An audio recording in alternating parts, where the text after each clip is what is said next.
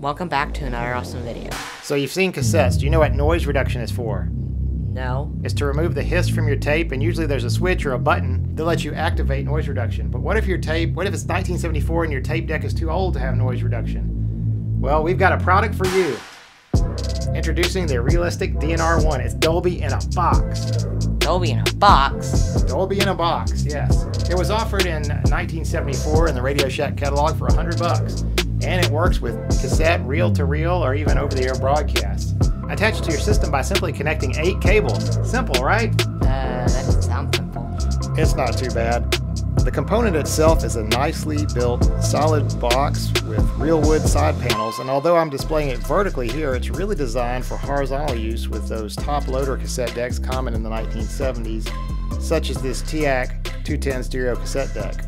What this thing really reminds me of is the Realistic SCT3, which we covered about three years ago in a video. It's got that kind of uh, shape designed to work on top of a console stereo, perhaps. How does it work? We're going to demo some audio in just a moment, but conceptually it's not that complicated.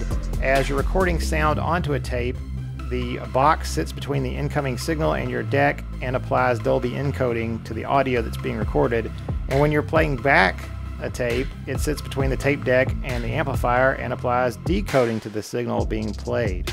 Now, as I demo this, keep in mind I don't have the calibration tapes that are designed to adjust all these adjustments behind that panel and calibrate the unit to your cassette deck. It also has a built-in tone generator, which I assume is used for this calibration somehow.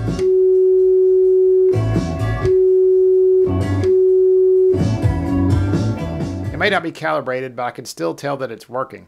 So it works by manipulating frequencies in the audio signal, and so when I engage Dolby, you can hear the hiss go away, but to my untrained ear, a lot of the high end goes away too.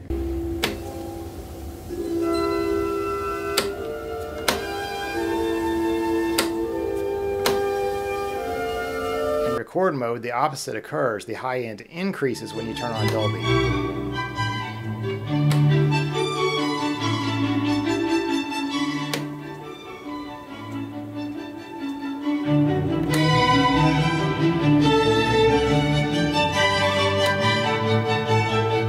This box uses the Dolby B system, which was not called Dolby B yet because it was the only consumer one available. Dolby wasn't the only game in town, but it was what was adopted for pre-recorded cassettes due to its excellent backwards compatibility. We covered other systems like ANRS and DBX in a video earlier in the year, it definitely made a difference. I used Dolby B. It was already built into the tape deck by the time I was using tapes. But what was the real world effect on cassette users? So yeah, noise reduction was on every commercial tape, and you know, kids in the '80s probably thought about it more than kids in the '90s because the '90s kids had uh, CDs and stuff. But I remember in high school in the early '90s talking about it with Mr. Parnell. Mr. Parnell, yes, that's the actor from Anchorman, uh, and did, from the new Home Alone movie that just came out. Yeah, yeah.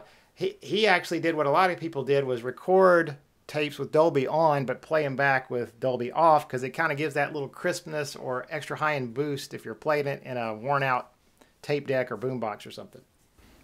But let's take this tape if I can get away with a couple seconds of audio and see how this deck's built-in noise reduction compares to the noise reduction from the realistic DNR1.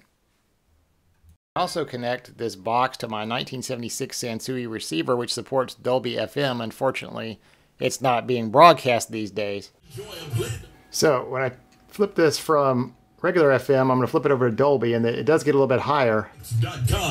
Hey team, we landed the contract! His web design studio just landed the gig of a lifetime.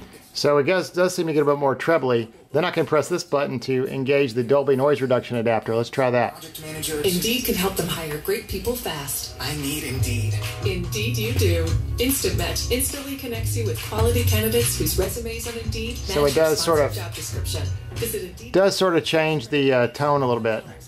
Now before we wrap this up, every Dolby device tape, this is a tape deck, has this little statement about, you know, licensing. Well, let's look and see what's inside this box, uh, this DNR1.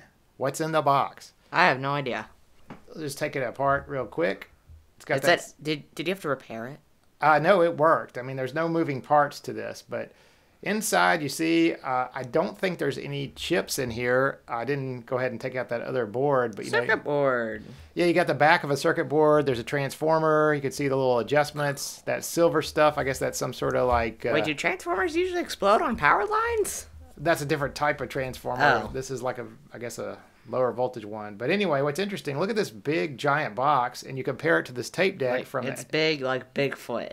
That box is reduced to this one little board inside this tape deck from the 80s. So there, see the little Dolby Double D symbol there on the chip. Pretty amazing how technology changes. And, and there were a bunch of external noise reduction systems available. This wasn't the only one, and of course they're you're used in. I'm assuming they're still used in recording studios.